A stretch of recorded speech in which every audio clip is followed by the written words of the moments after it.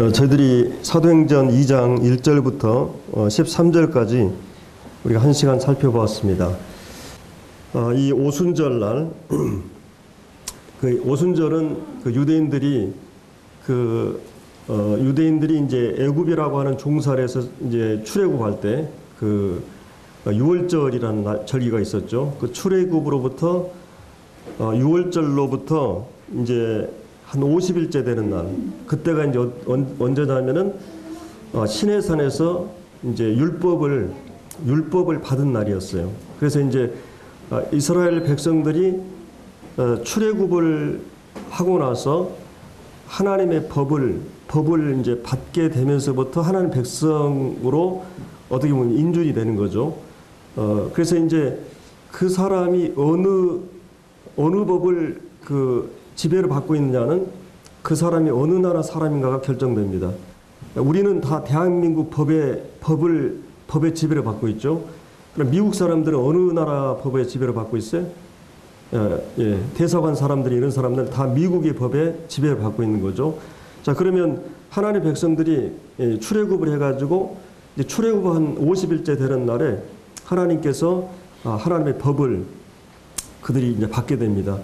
어떻게 보면은 아, 모든 이제 인류는 하나님께서 이 땅에 그 허락하신 인류들은 아, 마치 땅에다 심었는데도 어 이렇게 이제 결실하지 못하는 예, 다 땅에 묻혀버리고 죽어버리는 것으로 결말을 듣는데 예수님께서 6월절 십자가에 달리시고 부활하신 다음에 50일째 되던 날에 어, 이 원래 이 오순절은 초실절이라고 그래요. 최초로 열매를 거두는 그래서 예수님이 첫 열매가 되셔요.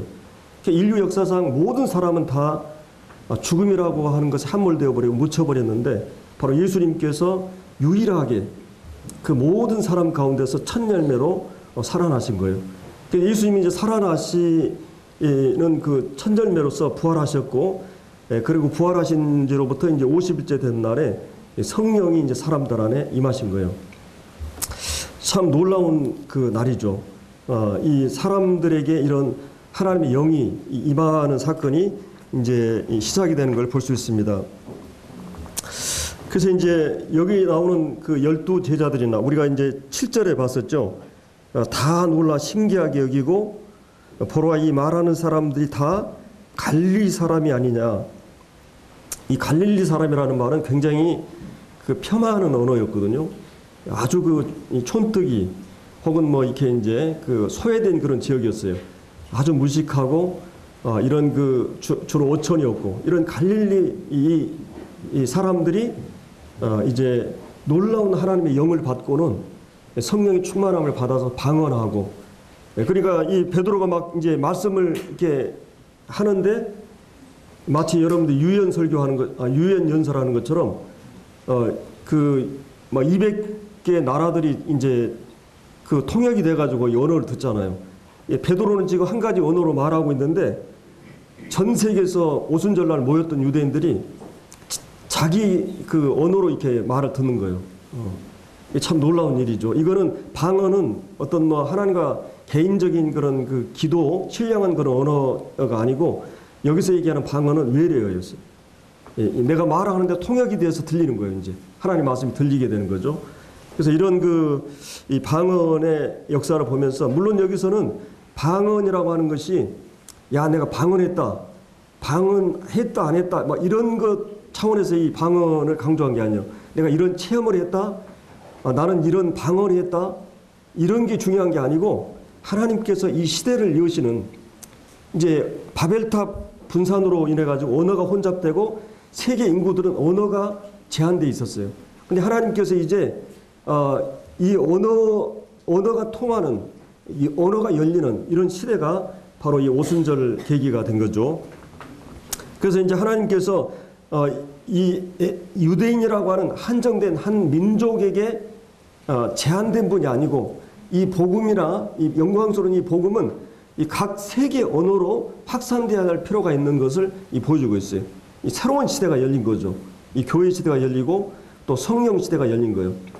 그리고 이제 지금까지 이 노아 홍수 때 하나님께서 노아 홍수 심판할 때 사람들이 자기 육체가 되어 버렸어요. 이 그러니까 하나님께서 이 아담 계열에 이제 세 계열이 있거든요. 가인 계열과 이 아벨 계열이 있는데 아벨 계열이 하나님의 그 혈통이거든요. 메시아 혈통이었고 하나님 백성의 혈통이었는데 그세 계열은 항상 하나님의 그 피를 의지해서 하나님께 나갔어요. 근데 그런 그 계열들이 계속 내려오다가 이 하나님의 아들들이 사람의 딸들의 아름다움을 보고 외모를 보고 사람을 선택하고 자기가 좋아하는 모든 사람 일부 다처가 그러니까 이제 타락은 항상 성적인 부분에서 와요. 이 하나님의 백성들이 하나님의 그 이 혈통들이 타락하니까 하나님께서 이제 그 하나님의 영이 사람과 함께하지 않는다 그랬어요. 왜 그래요? 사람이 육체가 되어버렸다 그랬어요. 그때는 하나님의 피를 의지하고 하나님 성령을 의지해서 살았는데 하나님의 영이 사람과 함께했을 때 의미가 있는데 이제부터는 하나님의 영이 사람을 따라가는 상태. 그러니까 육체의 지배 아래 놓이게 되는 이런 인간의 모습. 인간이 타락할 때 이제 원래 그랬죠. 하나님이 그이 죄가 들어오면서부터 이제 그 인간의 육체가 지배하는 구조가 됐어요. 원래 하나님의 여, 하나님의 영이 그다음에 인, 이성과 인격을 지배하고 그 이 인격이 이 몸을 지배하는 형태가 돼야 되는데 이제 이 육체 육체라고 하는 인간의 육체와 마음이 원하는 것을 하에서 본질상 진노의 자녀가 되어버린 거죠. 그래서 이게 이제 거꾸로 되는 거예요. 영의 영이 이성을 지배하고 이성이 어, 우리 몸을 지배하고 이런 형태가 아니라 육체가 인간의 어떤 그, 그 세속적인 그런 경향, 하나님 반역하고자 하는 그런 경향이 그런 정신이 사람의 지배해 버리는. 이건 다른 말로 하면 사람이 하나님의 영의 하나님의 통제를 받아야 되는데 인간 스스로가 주권자가 되고 인간 스스로가 하나님 자리에 앉아가지고 하나님 노릇을 하게 되는 것이죠. 이제 스스로 독립해서 스스로가 모든 걸 결정하는 이 자기 결정 시대예요. 이 죄라고 하는 것은 그거예요. 그래서 세상 모든 사람들은 자기가 이제 하나님 돼 있고 왕이 돼 있어요. 모든 것은 자기 중심이고 자기 중심대로 움직여야 돼요. 자기한테 잘해야만 선이 되고 자기 나쁘게 하면 모든 게 악이 되어버리는 거예요. 그래서 이 지구상은 죄인들이 왕들이 모여 있는 그러니까 끊임없이 경쟁하고 어, 이 싸우고 자기가 모든 것의 그 중심이니까 이것이 바로 이제 어, 이 세상은 끊없는 전쟁 정치판에도 여야의 갈등 뭐 경제도 노조 갈등 뭐 이 남북도 이념의 갈등 지역 간의 동서의 갈등 그리고 사람들이 모였다면 싸우고 갈등하는 게 인간이 죄가 들어오면서부터는 분열과 아, 쪼개지고 나뉘어지고 이게 죄의 그 결과예요. 그러나 이제 하나님의 영이 하나님이 우리를 통제하게 되면 하나님이 성령이 우리 안에 내주하게 되면 이제 전혀 다른 삶의 형태가 나타나게 됩니다. 그래서 이제 이런 그 이 오순절 새로운 시대가 이제 개막이 된 거예요. 인간이 어, 육체의 지배 아래 놓여, 놓여 있는데 하나님께서 이 육체 어떻게 했어요? 16절을 보면 이제 이는 곧 선자 요엘을 통해 말씀하신 것이 이르시되 하나님 말씀하시기를 말세. 저희 성경에서는 말세를 항상 그 이 말세가 단수로 나올 때는 말세 지말이고 어, 말세가 복수로 원어에 나올 때는 어, 예수님이 오실 때부터 어, 이 말세예요. 그러니까 예수님과 초림과 재림을 다 아우르는 것이 이 말세를 얘기합니다. 그러니까 이제 성의 모세 이전 시대와 모세 이후 시대 그리고 역사의 마지막에 이제 메시아가 온다. 이 유대인들은 그래서 메시아가 오므로부터 어, 순서적으로 마지막 시대라고 그래요. 마지막에 아들로 말씀하셨다. 히브리 1장에 보면 그 마세예요. 그러니까 예수님을 통해서 이제 직접 말씀하는 시대. 그게 이제 마세거든요. 그러면 이제 여기 19절부터 어, 20절은 말세 지마를 얘기해요. 예, 역사의 마지막에 메시아가 오기 전에 무슨 하나님의 환란과 심판이 있을 것을 말씀하고 말세 초기에 어떤 일이 일어나냐면 17부, 17절부터 18절까지 이제 이 그 내 영, 하나님의 영 성령님을 모든 육체에 예, 부어준다고 이렇게 말을 하고 있습니다. 그래서 이제 여기 성령님이 이제 그 어, 사람들 안에 이제 오시게 되는 것을 여기서 이제 말해주고 있죠. 자 그러면 그 이 성령이 그, 그 성령님이 이제 우리 안에 이제 내주하게 되면 어, 우리가 이제 이 본문에 생각해야 될 거는 성령님이 그 안에 들어가게 되면 어떤 증상이나 현상들이 나타나는가. 그 정말 이게 중요한 문, 문제거든요. 정말 사과를 장하는 문제예요. 이 아레 토저라는 분이 이런 말을 했는데 어, 지금 현대 교회 복음주의 계열에 어, 현대 신학 이게 완전히 자유주의 신학은 성경의 권위 자체를 부정하는 그런 신학이거든요. 성의 기적을 부정하는 그런 신학이 있어요. 현대 신학, 자유주의 신학이라고 이 성경 자체를 막 고등 비평해 가지고 성경이 하나님 말씀 아니다. 하나님 말씀 부분적으로만 있지 다 하나님 말씀이 아니다. 막 이런 어 이런 그, 그 아주 잘못된 그런 그 사조라고 할 수 있어요. 이런 신학이 있고 그 다음에 얼마나 많은 이단들이 잘못된 이단들이 많습니까? 근데 그 현대의 신학과 이단하고 동일하게 취급할 게 뭐냐면 복음주의 계열에서 성령이 제외된 것이라 그랬어요. 그러니까 만약 우리가 이 교리적으로나 이 성경적으로 지식적으로 이 성경에 나오는 진리들을 이해하고 있다고 파악하고 있다고 하는 게 중요한 게 아니라 과연 하나님의 영이 우리 안에 내주에 있느냐가 중요해요. 예, 그렇지 않으면 하나님 앞에 갔을 때 우리가 남는 게 없어요. 하나님께서 자기 아들로 확인할 수 있는 것이 뭐냐면 어, 예를 들어서 제가 제 아이들을 확인할 수 있는 게 뭐예요? 어, 제 피를 받았고 얘들은 내 모양을 닮아 있고 성격이나 외모가 닮아 있어요. 그러면 이제 얘들은 어디 가나 목소리 듣거나 얼굴을 보면 금방 확인할 수 있어요. 내 아이라고 하는 확인할 수 있는 거는 얘들은 내 피를 받았기 때문이에요. 그러면 여러분들이 하나님 하나님의 자식이라는 가장 확실한 증거가 뭐냐?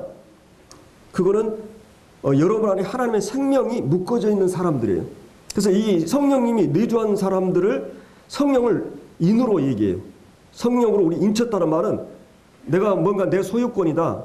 내 소유다 그러면 도장을 박아요. 예를 들어서 옛날에 보면 말이나 뭐 이렇게 소라든지 이게 막 그 돼지라든지 보면은 막 이 도장을 인 인을 박잖아요. 판매할 때 뭐 쌀가마에 이렇게 도장을 박듯이 저 저거는 내 것이라고 하는 어떤 확인하는 의미에서 내 소유권을 주장하기 위해서 인을 치듯이 하나님께서 이 많은 세상 사는 가운데 저건 내 것이다 확인할 수 있기 위해서 어떻게 어떤 표시를 했냐면 성령님을 그들 안에 집어넣으셨어요. 그, 아 그래서 저 저 사람이 내 자식이다 하는 걸 뭘로 알아요? 성령이 내주하는 걸 통해서 알아요. 그리고 이제 성령은 보증, 보증 이 계약금이라고도 할 수 있어요. 어, 이 확실하게 천국에 갈수 있는 그 보증서와 같이 성령님이 우리 안에 이 내주에 있는 거죠. 그래서 이 성령님이 그 우리에게 온 사건은 어마어마한 사건이에요. 물론 성령은 그냥 오신 게 아니에요. 성령이 오신 것은 반드시 어, 오늘 이 본문에서 그 사도 베드로의 그 설교의 그이 설교의 이제 초점이 뭐냐면 그 사람들이 막 그 성령을 받으니까 방언하고 막 이러니까 야 저 사람들 막 세술에 취했다 놀라고 기약이 여기다 지로는 어떻게 해요? 그 12절에 보면 13절에 보면 이제 저들이 조롱하고 그 술 취했다 어 조롱하면서 술 취했다고 이게 예, 얘기하는 거예요. 그때 이제 베드로가 그 말을 듣고 그 현상에 대해서 설명을 하는 거예요. 여기서 이제 베드로가 얘기하는 가장 중요한 초점은 베드로가 이제 자, 기 자신이 무슨 뭐 체험을 했다는 것을 얘기하는 게 아니에요. 이 성령님을 강조할 때 자칫 체험을 먼저 얘기하면 안 돼요. 체험은 항상 객관적인 사실이나 진리의 근거에서 체험이 따라와요. 기독교는 체험의 종교지만 먼저 계시의 종교예요. 사도 베드로가 먼저 얘기하는 건 뭐예요? 내가 어떤 걸 뭐 이렇게 느낌을 가져왔다. 그러면 오늘날 이 성경을 비평하는 사람들이 심리학자들이나 종교 어, 분석가들이 얘기하기를 이 종교가 왜 생겼고 그 다음에 저 사람들의 저런 현상들 체험들은 심리학적으로 분석을 해요. 어떤 환경에서 태어나가지고 어떤 충격을 받고 자랐기 때문에 저 사람은 이렇게 심리학적으로 분석을 해가지고 기독교나 종교에 대해서 그렇게 얘기를 해요. 그러면 과연 우리가 믿는 이 신앙이 그 심리학자들이 분석하는 그런 우리가 뭐 어떤 느낌을 가졌다, 체험을 가졌다 그러니까 그거를 그 심리학적 분석을 통해서 분석할 수 있는 것인가? 그러니까 체험만을 얘기하면 그런 현상, 그런 분석을 할 수 있어요. 그리고 이제 종교가 역사적으로 발달하다 보니까 처음에는 막 다신을 섬기다가 시간이 쭉 가니까 신이 딱 하나로 모아졌다. 그래서 이 지상의 가장 고등 종교는 유대교다, 이슬람교다. 한 절대 유일신을 섬기니까. 근데 이 과학이 발달하고 지성이 발달하면서 그것도 그 신이 처음에는 미신이고 이게 실제하지 않은데 이 유일신 개념도 사실은 아니다. 이렇게 종교학적으로 또 이 종교를 분석하는 사람도 있어요. 과연 그러면 오늘 이 본문에서 이 오늘 일반적인 그런 많은 그런 그 기독교를 공격하고 종교를 공격하는 이런 사람들이 말하는 그런 그 우리의 체험이라든지 우리가 믿고 있는 이 믿음이 그런 것이냐?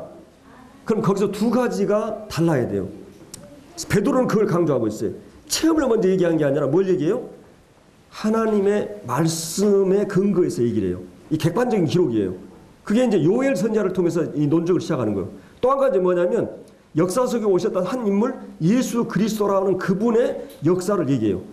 기독교에서 이 두 가지를 빼버리면 체험 자체도 뭐 이 방언이 우리 우리만 있는 게 아니에요.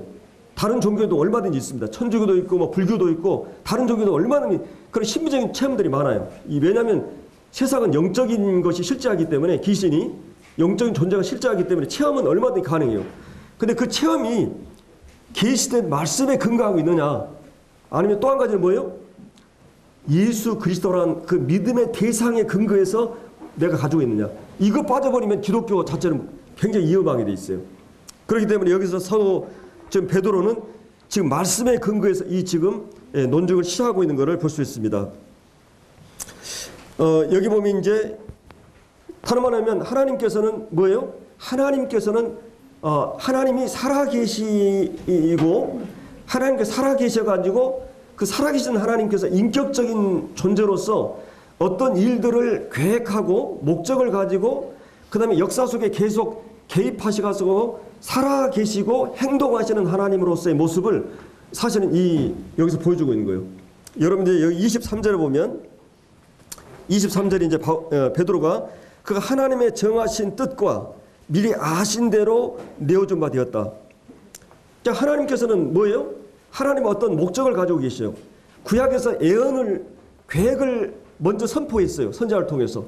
그리고 그 선포된 그 예언이 역사 속에서 성취됐다고 하는 것을 아까 이제 16장 16절에서 요엘 선자에게 예언한 그 말씀이 지금 이 순간에 이루어졌다고 하는 얘기를 하고 있는 거예요.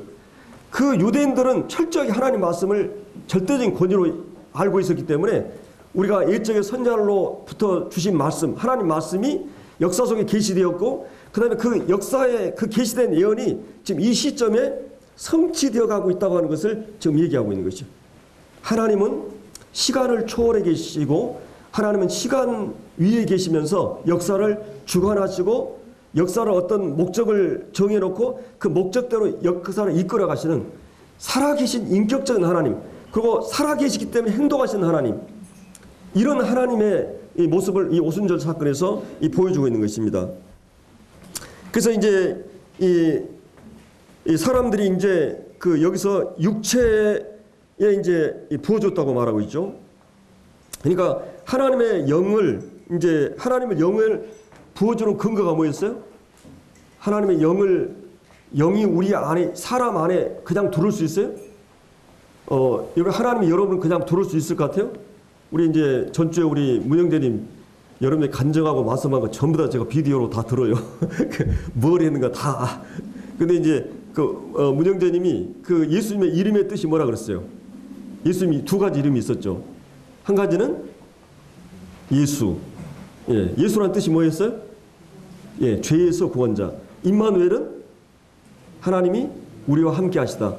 이 두 가지 예수님의 이름이 얼마나 이 구속의 모든 하나님의 계획이 그 안에 포함되어 있어요. 그러면 하나님께서 우리와 함께 하시는 것을 전제하기 위해서 뭐가 필요해요? 죄사함이 필요해요. 여러분의 안에 죄사함이 이루어지지 않으면 하나님의 예수 그리스도를 통해 구속이 완성되지 않으면 성령은 절대 오지 않아요. 우리 참고로 이제 요한복음 어, 7장을 한번 보죠. 요한복음 7장.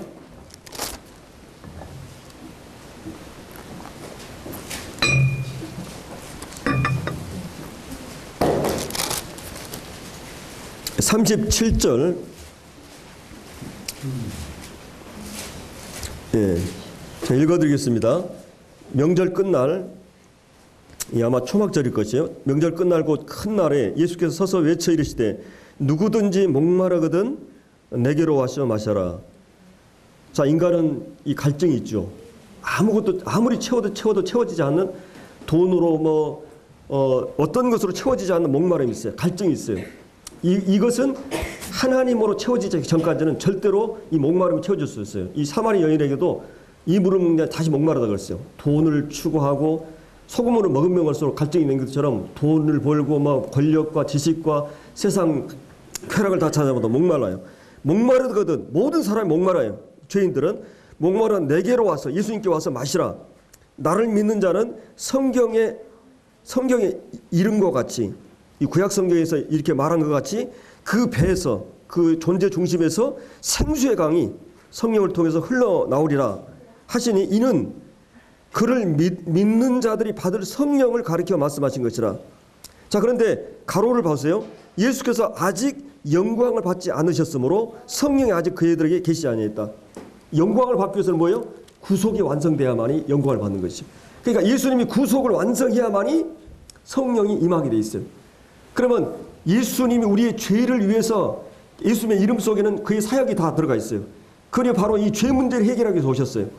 죄 사함, 죄 용서를 위해서 죄를 정결케 하기 위해서 자기 몸을 드림으로써 인- 육신을 가지고 오셔야만 했었어요. 그래서 그 죄를 완전히 사하신 다음에 그 다음에 예수님 예, 물론 예수님은 죄가 없는 육신을 갖고 계셨기 때문에 예수님에게 하나님의 영- 하나님이 하나님이 그와 함께 계셨어요. 신성과 인성이 그래서 예수님의 육신의 완전한 죄 없는 그 몸과 하나님의 신성이 결합되어 있는 것이 임마누엘이에요. 근데 이 구속의 궁극적인 목적도 그래요. 하나님께서 사람들과 함께 하는 것이 하나님의 구속의 궁극적인 목적이에요. 이 연합하는 것이. 그래서 여러분들이 성경 전체에 보면 어, 하나님께서 사람들과 연합하기 위해서 사람들과 함께 죄산 받고 그냥 천국 따고 이런 것이 아니라 하나님께 죄산 받은 목적이 뭐예요? 궁극적인 목적은 바로 죄산 받고 하나님의 성령을 하나님을 우리에게 함께 하기 위해서 그래서 하나님과 함께 동행하고 그분과 더불어 살게 하기 위해서 하나님이 이 구속을 이루신 거예요. 자 여기 이제 사도행전 2장 그 2장 어, 38절에도 이제 한번 보세요. 어, 베드로가 이르되 너희가 회개하여 각각 예수 그리스도 이름 바로 이 예수 그리스도의 이 사역을 포함하고 있죠. 예수 그리스도의 구속의 이름이 포함되어 있죠. 예수 그리스도의 이름으로 세를 받고 죄 사함을 받아라. 죄 사함을 받아라. 거기 끝나는 게 아니라 그리하면 성령을 선물로 받으리라. 그냥 거룩한 영이기 때문에 죄가 있는 사람은 절대 들어올 수 없어요. 근데 여러분들이 복음을 처음에 이제 율법을 통해서 종교 생- 생활을 하든지 어떤 형태로든지 우리가 전도하는 사람들이 하나님 살아계시다, 성경이 사실이다, 그러면서 이제 우리가 죄인이다, 지옥이 있다, 막 이런 걸 계속 얘기하면 정말 하나님 살아계시구나, 정말 성경이 진리구나. 그러면 성경에서 말하는 인간이 죄인이구나. 그리고 이죄 때문에 이 지옥에 갈 수밖에 없구나. 이거를 이제 딱 깨달으면 어떻게 돼요?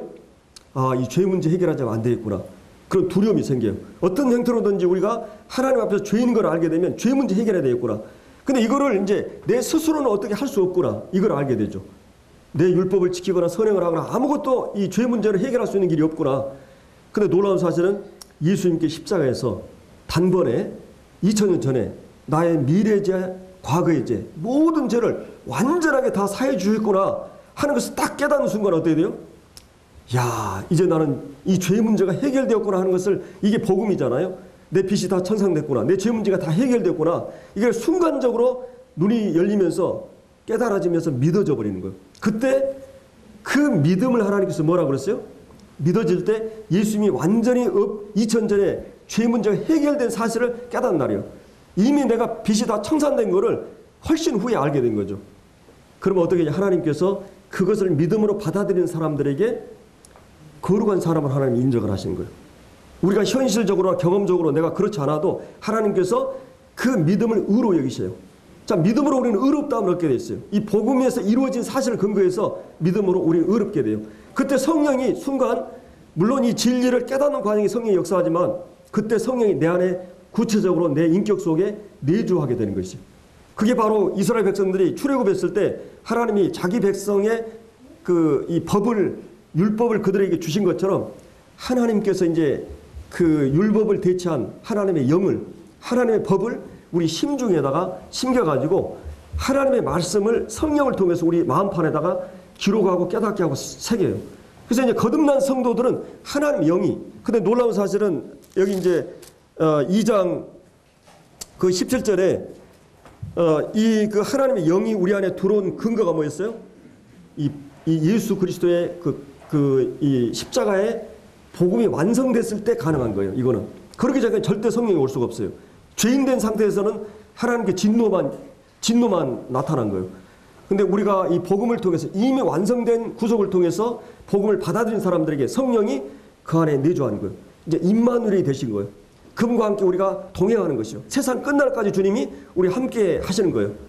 가끔 우리가 잊어먹든 안 잊어먹든 진짜 믿든지 말든지 거듭난 성도들 안에는 성령이 딱 내주에 계셔요. 여러분들이 성령님을 섭섭하게 해- 할 수도 있어요. 내 그냥 고집대로 마음대로 막 행동할 수 있지만 그럼 성령이 내 안에 확실하게 거듭난 사람들에게는 복음을 받아들인 사람에게는 내주에 계셔. 그래서 성령과 내가 딱 하나가 돼가지고 서로가 딱 그 부딪혀야만이 사랑이 딱 그 스파크가 일어나야만이 역사가 일어나듯이 성령은 계속 우리 안에서 이 노크를 하고 우리에게 이러는데 우리가 그냥 그걸 거절하거나 안 하면 안 돼요. 여러분이 그, 그, 내 마음의 집이라는 책이 있는데, 저도 아직 보지는 못했는데, 그 책에 보면은, 그, 어, 예수님이, 예수님이 손님으로 대하는 사람이 있고, 예수님이 이제 우리 집에 왔는데 손님으로 대하는 거예요. 그러니까 이제 뭐, 손님으로 대할 때는 내가 주인이죠. 내가 주인이니까, 아, 예수님 여기 앉으세요. 앉으세요. 그래요. 근데 예수님이 주인 된 사람은 그 사람 인격이 변화된다는 거예요. 삶이 변화된다는 거예요. 어떤 사람이냐면 예수님이 딱 주인이 되면 예, 이제 나한테 뭐 되겠어요? 손님이 아니기 때문에 아, 여기 책장에 보니까 이거 이 책 안 되겠다고 다 이거 버리라고. 자, 그 다음에 테레비 안방에 가 가지고 저 프로그램 보면 안 되겠다고. 다 이제 예수님이 주인 노릇 주인이 주인 노릇 하게 되면 어떻게 돼요?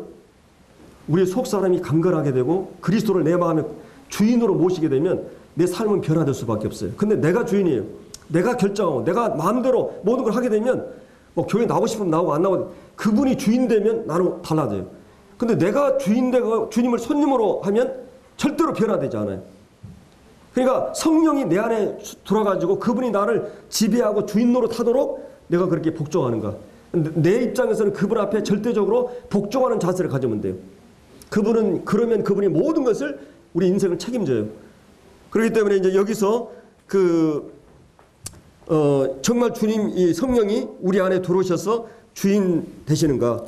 자, 주님이 이제 이 말세의 놀라운 사실은 구속이 이 메시아가 오셔서 구속을 완성하시고 그 완성된 다음에 내 영을 모든 육체에다가 모든 육체에다가 부어준다.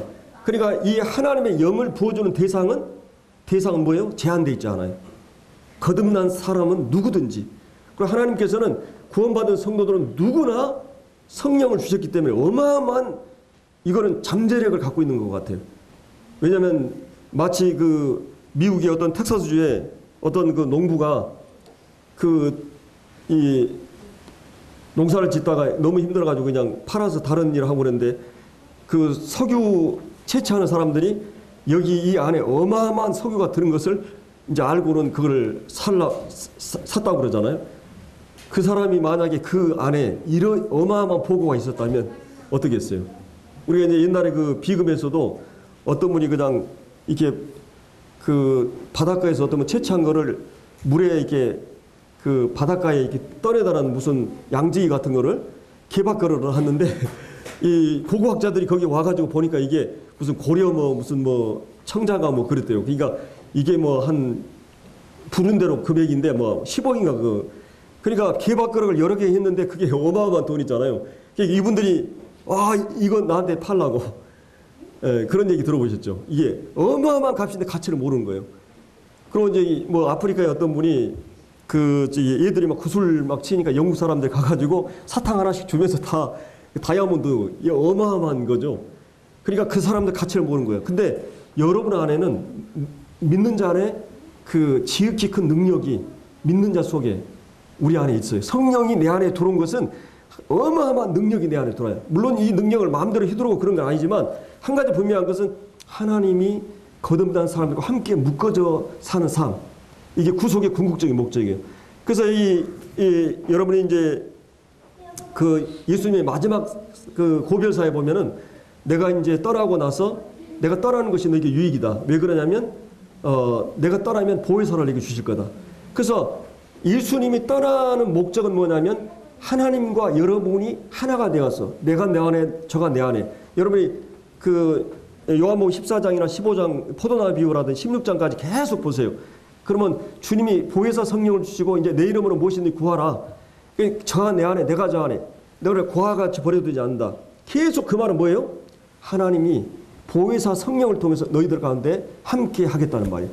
어마어마한 일이에요. 이게 지상에서는 성령과 함께 하시고 근데 우리가 살다 보면은 우리가 제대로 사는 살지 못하니까 성령이 말할 수 없는 탄식을 하게 돼 있어요. 내가 제대로 못 사니까. 그래서 계속해서 그러면서도 우리를 절대로 포기하지도 않고 포기할 수도 없어요. 우리는 이제 권 안에 들어온 사람들은 성령이 내 안에 내주하셔가지고 우리를 끊임없이 우리를 위해서 하나님 앞에서 하나님 뜻대로 기도하시면서 그게 계속 우리를 권고하시고 이 환경을 통해서나 메시지를 통해서나 그리고 우리의 마음에 이 답답하고 괴로움을 허락하시기도 하고 하나님께서 계속 하나님과 더불어 사는 삶을 살기를 원하시는 게 하나님의 하나님이 정말 사람들을 사랑하시고 그 사랑은 결국은 하나됨이에요. 사랑의 목적은 하나됨이에요. 사랑하면 하나됨이 결과로 나타나요. 하나됨이 아닌 사랑은 사랑이 아니에요. 근데 하나님께서 그 사랑을 이제 이 아들을 통해서 구속을 완성하시고 그리고 성령을 보내가지고 우리와 하나 되게 하셔가지고 저가 내 안에 내가 저 안에 그리고 이 땅에서 그 삶뿐만 아니라 주님이 오신 이후로 새하늘 새 땅에서 궁극적으로 하나님과 하나가 되어서 하나님의 영광을 아버지가 내 안에 내가 아버지 안에 또 저희가 내 안에 있게 하사 아버지의 영광을 보게 해달라고 그래서 궁극적인 나라에 가서도 하나됨으로 이루어지는 게 구속의 궁극적인 목적이에요 이 어, 어마어마한 어, 이 놀라운 진리들을 어, 우리가 이제 이, 볼 수가 있는 거죠. 자, 그래서 이제 이 말세에 내가 내 영을 모든 육체에 예, 사실은 사람들은 어, 이제 하나님의 영이 떠나면서부터 인간 안에는 그 하나님의 영이 그 인간이 그 떠나면서부터는 그 주- 범죄하고 나서부터는 어떻게 됐어요? 그들이 즉각적으로 이제 예, 두려움이 오고 그다음에 이제 예? 그 마음에 이제 은폐 숨기고 그다음에 책임 전가하고 이제 사람이 이제 자기 중심적인 사람으로 되어버리고 이렇게 돼버립니다. 이제 육체가 돼버렸어요. 인간이 타락하면서 그래서 이- 인간에는 정말 그 이 육체 이 고기 덩어리 어떻게 보면 이 육체는 어떻게 보면 아무런 의미가 없어요. 근데 이 고기 덩어리 안에 누가 들어가 있어요? 구원받지 않은 사람한테는 사단이 아비가 되고 사단이 주인이 된 거예요. 사단이 주인 된 사람의 특징은 절대적인 자기중심적인 사람이에요. 자기중심적이고 고집적이고 완고하고 어 이, 런그 그러니까 사단이 진짜 귀신 들린 사람은 두 가지 형태라고 그래요. 얼굴이 굉장히 포악스러워 아주 개파하고 악하고 막 진짜 이 귀신 들린 사람은 얼굴이 죽어 있잖아요. 예. 또한 가지는 세련된 귀신들이 요즘 이 귀신은 아주 부드럽고 멋있고 막 세련되게 해가지고 진짜 이 히틀러 같은 사람은 얼마나 그 머리가 천재였어요. 히틀러가 약간 정신 이상한 사람이죠. 근데 그 리더십이라고 하는 탁월한 리더십을 가지고 그 당시에 독일이 음악에 있어서 뭐 바헨델이나 막 그 베토벤, 모차르트 다 독일 사람들이잖아요. 예술, 막 철학, 문학 어마어마하게 최고의 지성을 자랑했던 독일의 지성인들이 히틀러에게 휘말려 가버린 거예요. 이게 이, 이 귀신이 잡힌 사람에게는 그리고 어떤 사람은 지성을 가지고 이, 이 공산주의 사상을 만든 막스라든지 프로이드라든지 대부분이 유대인들인데 이 하나님의 영이 떠나간 사람들의 지성을 가지고 사단은 지성이라는 이름을 가지고 예술이라는 이름을 가지고 이런 세상의 학문을 가지고 사람들을 어마어마한 사람들을 진화론이라는 걸 가지고 지옥 보내잖아요. 무신론자다 이거 해가지고. 하나님 믿지 않은 사람에게는 다른 영이 이렇게 역사하고 있어요. 물론 귀신이 제한되어 있기 때문에 구체적으로 귀신이 들어간 사람도 있지만 사단이 사람들 안에 영향권을 행사하고 있어요. 그 귀신 들린 사람의 특징은 그거예요. 절대적으로 어, 자기 주장이나 고집이나 자기 중심적이에요. 교만해요. 이것이 귀신 들린 사람의 세련된 모습이에요. 세련된 모습으로 자기를 어, 과장하는 거죠. 그래서 이렇게 예, 흉한 모습으로 자기를 정, 정체를 드러내지만 또 한 가지 귀신은 이렇게 그래서 이 귀신 들린 이 모든 사람들은 이 공허한 상태에 있어요. 귀신에 끌려다니는 거예요. 지배 아래 놓여 있는 거죠. 근데 우리 이제 그리스도인들은 어떻게 됐어요? 하나님의 영이 우리 안에 이제 부어진 것입니다. 하나님의 영이 우리 안에 부어지니까 어떻게 됐어요? 자녀들은 이제 예언을 한다. 예, 물론 이제 여기서 예언이라는 말이 그 성경에서는 아, 미래에 대한 말도 이 포함되어 있지만 아, 하나님의 계시를 받아서 하는 말을 얘기해요.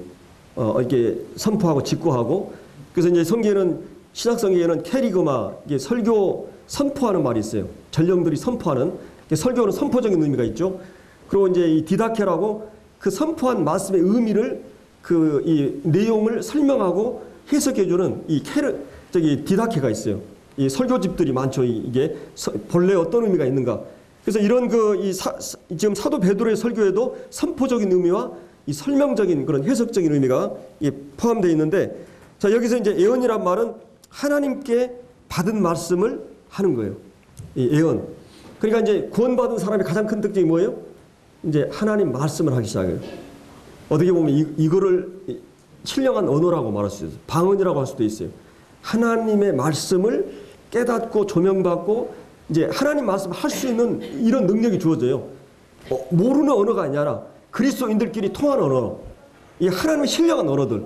이런 언어들을 우리는 이제 말씀을 통해서 깨닫게 되고 이 성령은 진리의 영이기 때문에 성령을 받은 사람은 이 진리를 깨닫게 해요. 하나님 말씀을 깨달아져요. 여러분이 하나님 말씀을 안 깨달으면 그때 이제 금식하고 기도해야 돼요. 주님 말씀을 달라고. 말씀이 오지 않으면 그리스도인들은 답답해요. 말씀이 깨달아지고 공적인 말씀이든지 개인적인 말씀이든 주님 말씀을 달라고.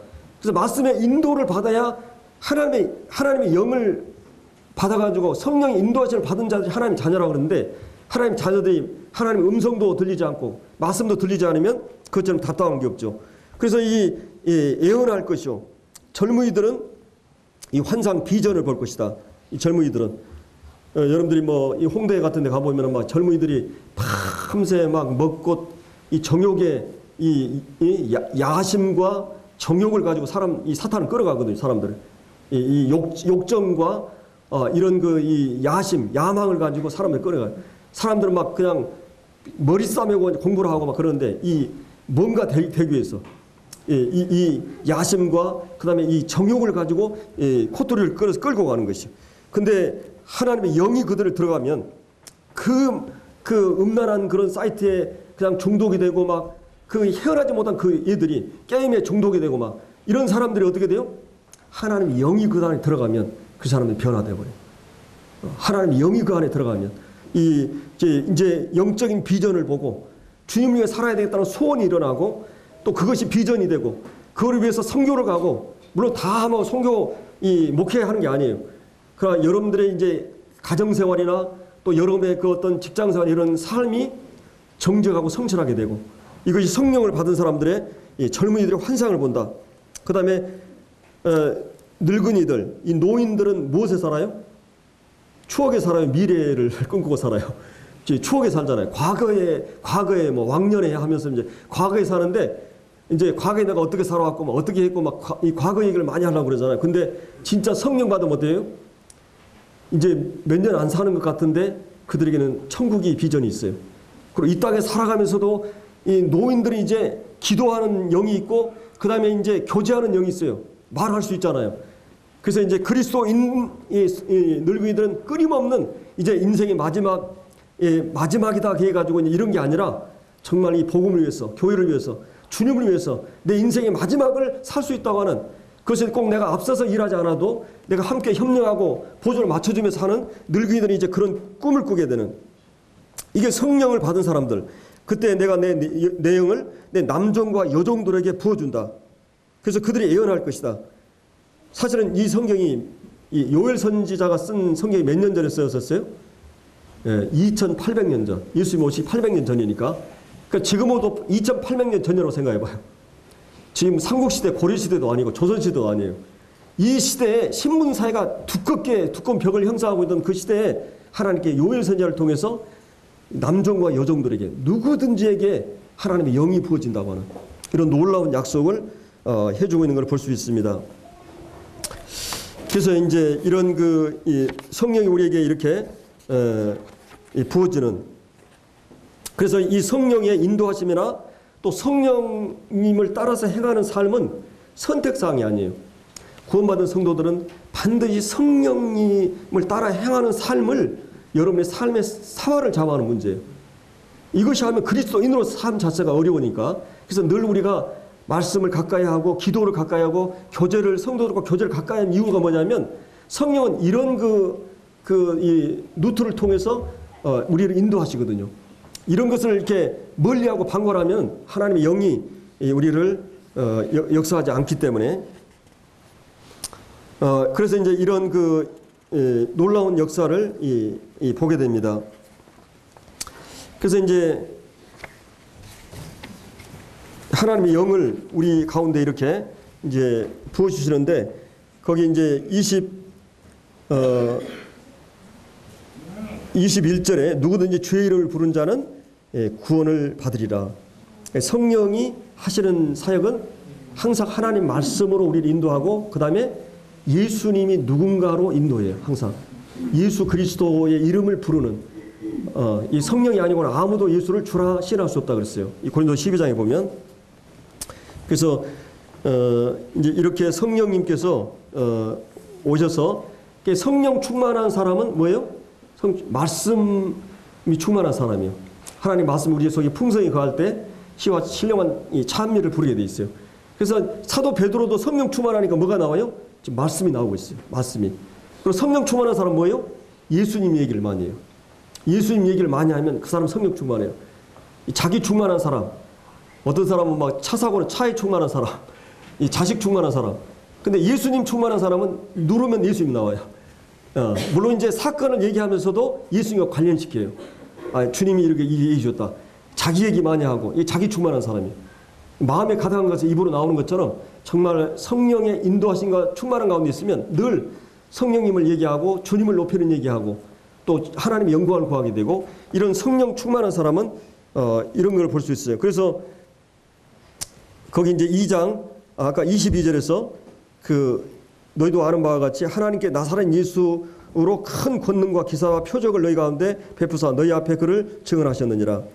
이, 예수님이 성육신과 그분이 공생애 동안에 그 표적과 권능을 통해서 어, 자신을 증거하셨고 23절에 하나님 정하신 뜻과 미리 하신 대로 내어준 바 되었거늘 십자가 사건이죠. 에, 법- 법음자들을 손을 빌어 죽였으나 또 하나님께 그를 사망의 고통에 풀어 살리셨으니 이는 그가 사망에 매였을 수 없음이라.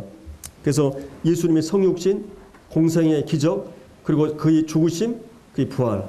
예수님이 누구시고 어떤 일을 하셨는가? 그것이 성령의 인도함을 따르는 사람들이 이, 이 나타나는 현상이에요. 그래서 이 예수 그리스도가 누구인가? 그 다음에 하나님 말씀으로 우리를 인도하여. 그리고 성령 충만한 사람은 예배소서 5장에 보면은 가정생활, 부부관계라든지 그다음 직장생활 이런 모든 삶에 충실한 사람이. 야, 이 성령 충만하니까 막 다 그냥 ben기치고 막 뛰어나가고 막 직장이고 막 가정이 이거에 오늘날 막 그냥 성령 받았다 그래가지고 이런 사람이만 그게 아니에요. 여러분의 삶에 충실한 사람이 성령 인도할 받는 사람이에요. 그래서 이제 이런 성령 안의 삶, 삶에 대해서 우리가 이제 살펴보았습니다. 성령이 우리 가운데 오게 되고 성령이 충만한 사람은 어떤 사람인가?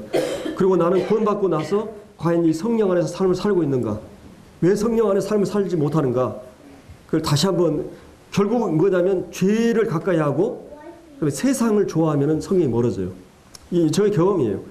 이제 막 아, 텔레비 좋아가지고 막늘 그걸 보고 막 이러, 이러봐요. 막 세상 너무 사랑하고 이 그러면 이 사람의 이 내 마음의 영이 그때부터 이제 딱 내 마음이 황폐해지기 시작해요. 공부하기 시작해요. 그래서 그 공부하고 황폐해져야만이 주님 앞에 또 그 성도들로 돌아와요. 왜냐면 하나님이 영이 그 일을 하시거든요. 여러분들 세상 막 재밌으니까 막 하는데도 아무런 거 없다. 이건 지- 진짜 문제예요.